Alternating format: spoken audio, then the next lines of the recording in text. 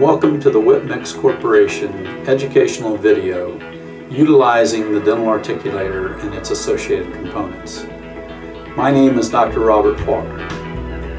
The main purposes of use of the dental articulator are to relate the mandibular cast to the maxillary cast in as accurate a way possible and to evaluate the mandibular movements of the patient. Articulators and their use are taught in virtually all dental schools. Yet, once the dentist begins private practice, use of the articulator is seldom employed. There are many reasons for this, but the most common is the perceived difficulty in utilizing the instrument. Today's dental articulators are not only easier to use, but they provide a high degree of accuracy. This allows the discerning practitioner to perform an occlusal analysis, evaluate parafunctional activities of the patient, aids in diagnosis and treatment planning, and allows for more accurate dental restorations. In addition, it provides an excellent means of communication with their patients. Along with my assistant Holly, I will be demonstrating the use of the Whip-Mix 2240Q articulator, making maxillary and mandibular impressions, recording a facebow record, obtaining a centric relation interocclusal record, and proper mounting of the patient cast will be illustrated. We will also demonstrate the basic procedures for setting the articulator prior to mounting the patient cast.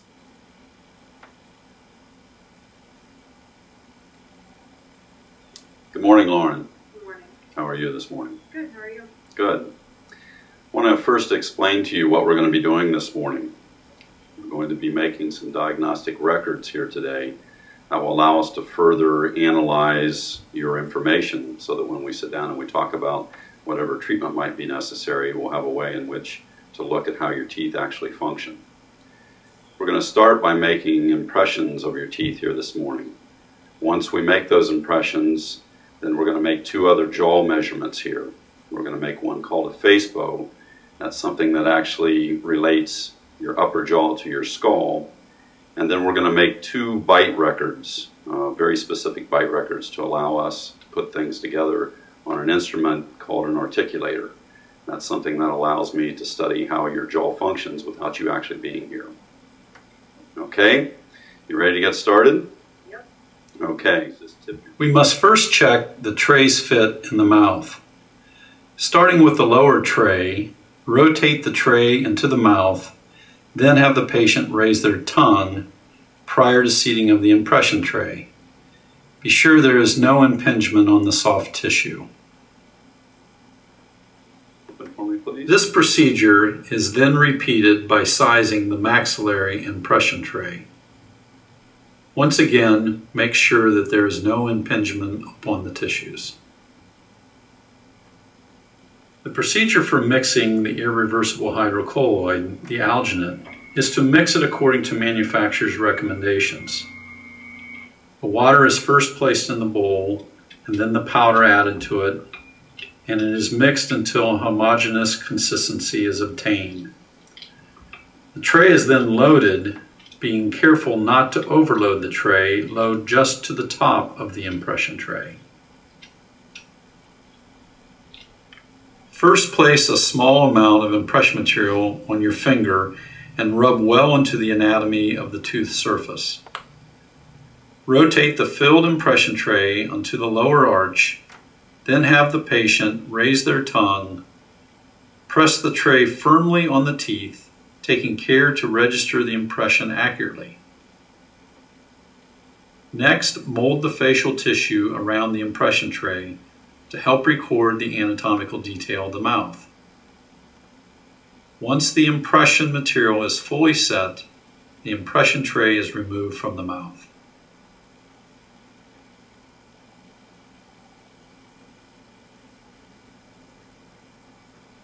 Lauren, we're going to begin the next portion by making the facebow record. This is the part that I mentioned to you earlier that we're going to relate your upper jaw to your skull and to this joint that's up by your ear here. So we're going to go ahead and get started with that. You all set? Yep. Okay. To prepare the bite fork for the face bow, we first adapt impression compound by softening in a hot water bath at 140 degrees. Once the material has reached a dead soft consistency, it can then be adapted to the bite fork. The impression compound is applied to both surfaces so that all the metal is covered. This will allow us to place the bite fork in the patient's mouth without burning the soft tissues. Place the bite fork into the mouth. Position the fork so that the stem of the fork aligns with the facial midline and support the fork until the material is set. The best way to check the alignment of the bite fork is to view the patient from behind. Note how the stem of the fork is aligned perpendicular with the facial plane. When the material is set, gently remove the fork. Rinse the impression compound under cold water.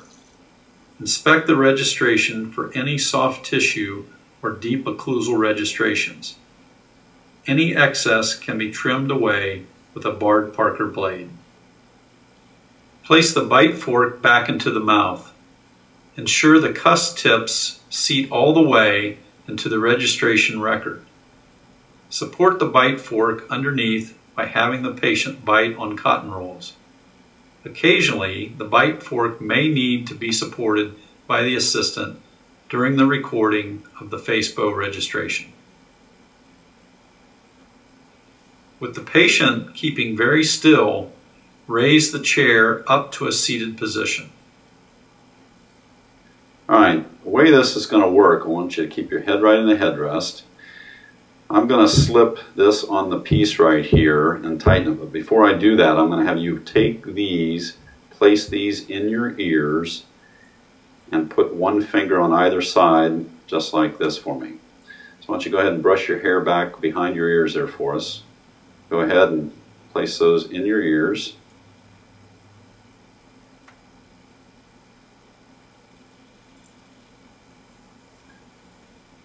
Rotate this around right in place here. Make sure you're staying closed all the way on the cotton.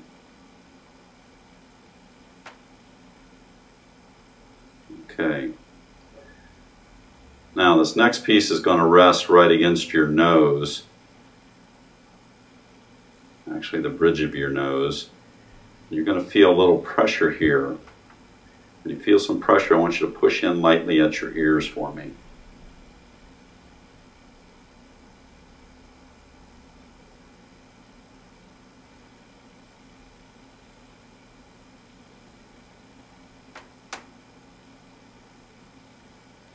Tighten this. Now you can take your hands away Turn your head just gently towards me right there. That's fine. You can put your hands down now. That's fine. With your eyes, I want you to look straight at the tip of my nose and just kind of stare right there at that point. Once the face bow is in place, gently tighten the toggle, taking care not to tilt the face bow. Next, have the patient gently hold the face bow arms to stabilize it as you finish tightening the toggle. Here we have the completed face bow transfer. Note that the face bow is centered on the patient's face and the transverse bar is parallel with the interpupillary line. Just pull them to the side of it. While the patient stabilizes the face bow, begin loosening the knob that was used to tighten the nasion. Next, loosen the center thumb screw on top of the face bow. The entire face bow assembly is removed by advising the patient to pull the earpieces out of the ears while helping to remove the bite fork from the mouth. This same procedure can also be performed with a more traditional transfer assembly.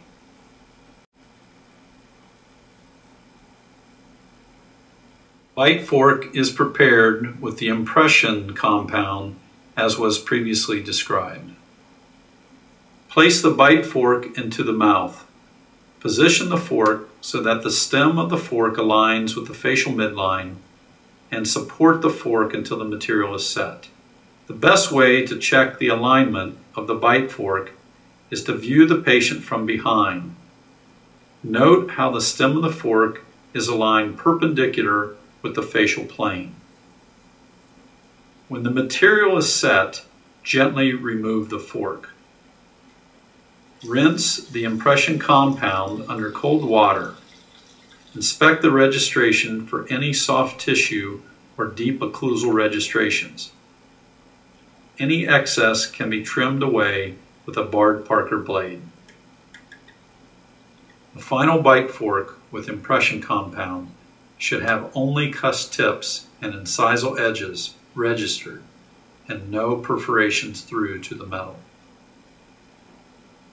Place the bite fork back into the mouth.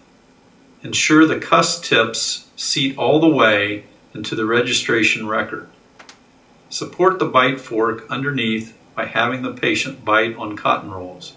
Occasionally, the bite fork may need to be supported by the assistant during the recording of the facebow registration. Raise the chair up to a seated position. What I'm going to do is I'm going to slide this on the little post that's coming out of your mouth. Once I do that, I want you to reach up, take these and place these in your ears. And I want you to put one finger on either side, just like that, and just hold gently against that. Keep your head in the headrest at all times, please. Okay, go ahead and place those up in your ears.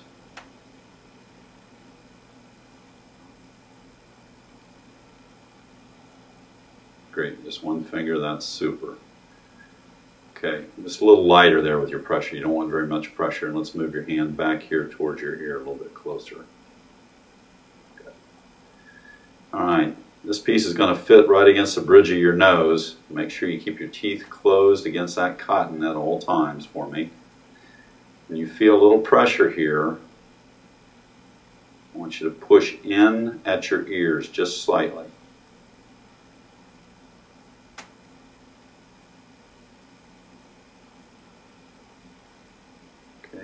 Hold on to it there just like that. Once the facebow is in place, gently tighten the toggle, taking care not to tilt the facebow. Next, have the patient gently hold the facebow arms to stabilize it as you finish tightening the toggle. Here we have the completed facebow transfer. Note that the facebow is centered on the patient's face and the transverse bar is parallel with the interpupillary line. While the patient stabilizes the facebow, carefully slide the nose piece away from the patient's nose, loosen the center thumb screw on top of the facebow. The entire facebow assembly is removed by advising the patient to pull the earpieces out of the ears while helping to remove the bite fork from the mouth.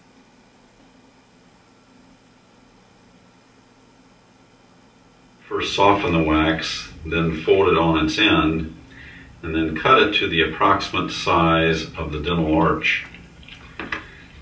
We want to cut it in somewhat of the shape of the arch as well. And we will also allow room for the leaf gauge or any anterior deprogrammer be able to be used in this step. To help the patient achieve a centric relation position, use an anterior deprogramming device such as a leaf gauge. Place the leaf gauge between the maxillary mandibular incisors. Instruct the patient to protrude and then retrude the mandible while closing on the leaf gauge. The retrusion should be until the mandible stops on its own. Do not force the mandible back. Additional leaves are required if posterior contacts are present. Ideal disclusion is 0.5 millimeters in the posterior region. This cycle should be repeated to verify that posterior disclusion is maintained. Remove the leaf gauge and place the softened wax into the mouth. Next, place the leaf gauge between the teeth and through the pre-cut slot. Instruct the patient to close on the registration wax and then protrude and retrude, then squeeze lightly together. Ensure the material is set, chill the wax with air. Continue to hold together. Now just barely open, close, barely open, close, open all the way now. Stay open there for us. Relax. Open for me. And your back teeth, close, squeeze, slide your jaw forward slightly and back. Hold right there. Okay, we're going to check, make sure your jaw's in the right position again here. Hold right together with that. Feel a little pressure, shouldn't feel any pain. Alright, now we're going to chill the wax here with a little bit of air.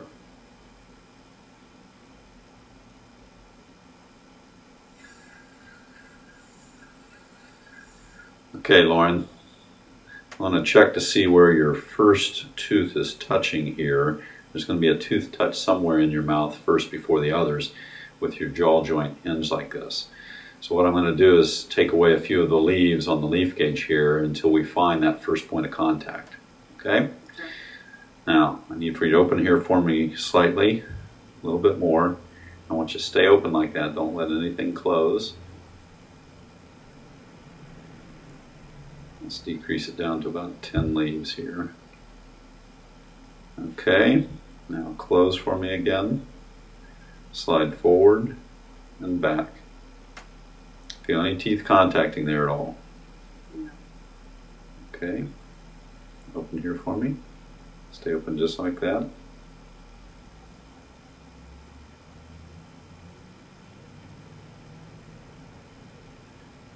Okay, close. Slide forward and back. Feel any teeth contacting now? Alright, Back here on this back right side? yes. Okay, good. Let's check that. Okay, Holly, if you'll take the leaf gauge here.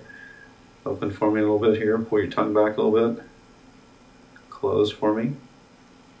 Slide forward and back. Okay, that's the contact that we were looking for. Go ahead and put the leaf gauge in for us, please. Close, slide forward and back.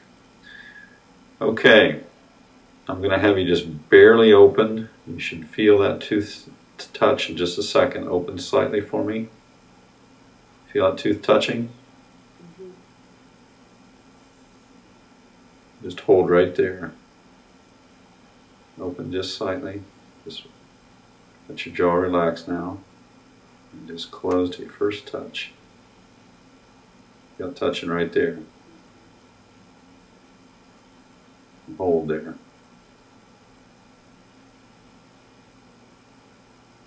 And close on down. Okay, so you have a little bit of a slide there. All right, relax your jaw.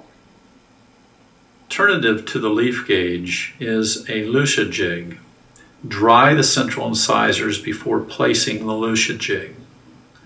Then have the patient close with their mandibular anterior teeth gently against the underneath side of the Lucia jig.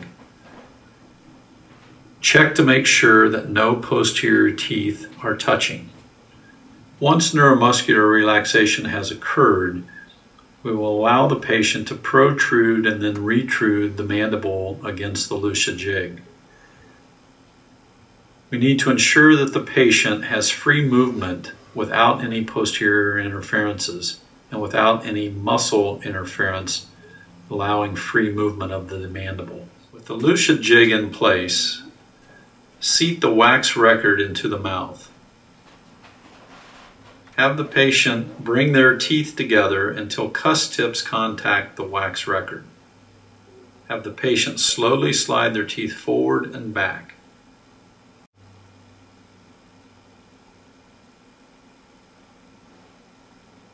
When we prepare the wax for the protrusive record, we do it very much in the same manner that we prepared the wax for the interocclusal centric relation record.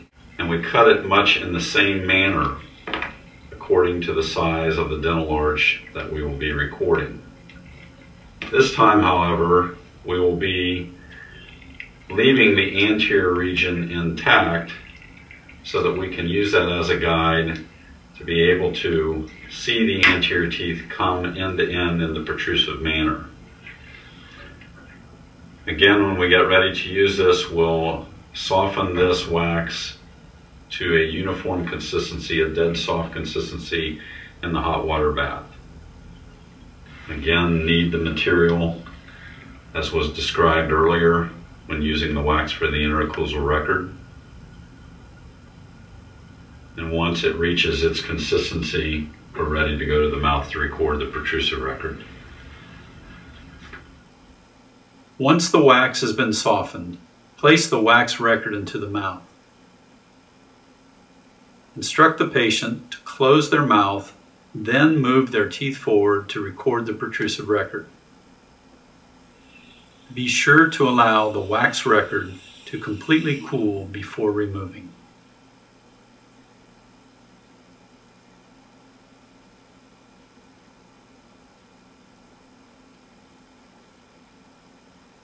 Going to get ready to mount the casts that have been generated from the diagnostic impressions that were made previously. Two stone casts have been poured and trimmed. We'll use those later, but in getting the articulator ready, we need to make sure that there are certain settings that are in the correct position prior to mounting the maxillary cast to the face bow. The first setting that we're going to check is the condylar setting. That should be in the FB position as indicated on the right condyle element on the articulator. Both the right and left condyle settings should be set prior to mounting at the face bow position. The second part of the articulator that needs to be checked is to make sure that the side shift guides are set to the zero position. Aligning the long line on the removable piece of the side shift with the tallest line on the stationary mount allows us to position that side shift to the zero degree point. The third part of the articulator that needs to be set is the centric lock. During the mounting of the maxillary cast and the mandibular cast in centric relation, the centric lock mechanism should be in the lock position. The articulator is now ready for mounting the face bow.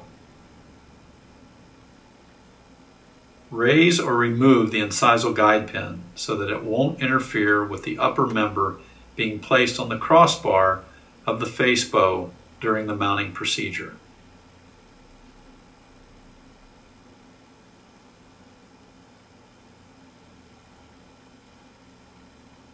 Next, place the metal disc into the slot on the plastic mounting plate and attach the plate to the upper member.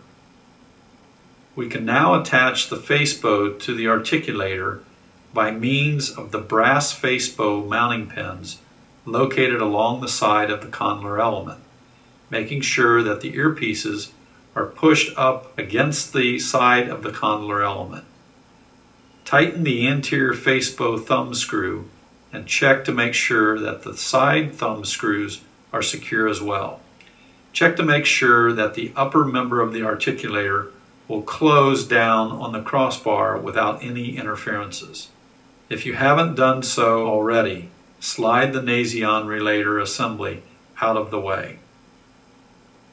Many clinicians prefer to use a face bow fork support when mounting the maxillary cast to support the face bow fork during the mounting procedure. This is an optional piece and as is demonstrated here, it is secured by means of the magnet. Next, the maxillary cast is positioned and is now ready for mounting. One additional note, the relationship of the maxillary cast to the maxillary member of the articulator with the face bow in place will not change during the mounting regardless of the angle because this has been preset so that the axis orbital plane can be maintained through the entire mounting process of the maxillary cast. After the mounting stone on the maxillary cast has set, we can then proceed with mounting the mandibular cast. Invert the articulator. The articulator will be supported by the black knobs on top and the incisal guide pin. Open the articulator and place a mounting plate on the lower member of the articulator as shown. Inspect both maxillary and mandibular casts for nodules or other interferences. If interferences are present, remove them, being careful not to change the occlusal relationship. Next, place the interocclusal record on the maxillary cast. Carefully position the mandibular cast on the wax interocclusal record. There should be a very positive seat between the cast and the wax interocclusal record. If in fact there is any distortion or rocking motion, the interocclusal record should be considered inaccurate and remade. Check to make sure you have enough clearance between the base of the mandibular cast and the lower mounting surface of the articulator. If necessary, remove enough of the base of the mandibular cast to have room for the mounting stone. It is recommended that you place a gypsum separating medium on the base of the cast usually in the indexed area. This will facilitate the easy separation of the cast if needed.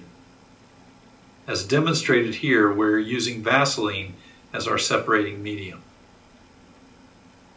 Mount the mandibular cast in the same fashion as the maxillary cast was mounted.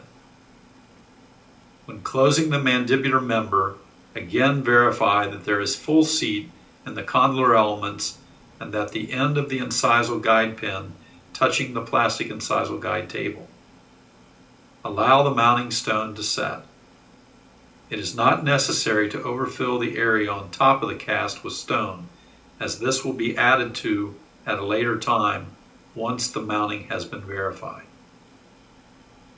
Once the mounting stone has set, you can verify the accuracy of the mounting by using articulating paper and locating the same first contact on the cast as was identified by the patient. At this point, we need to evaluate for any slides or occlusal discrepancies. To do this, loosen the incisal guide pin screw, raise the pin, and temporarily retighten the screw. Unlock the centric latch, close the articulator to the first point of contact making sure that the condylar elements are seated, and then close to the maximum intercuspal position. Watch for any sliding movement. The same slide that was produced in the patient clinically should be reproduced on the articulator if present.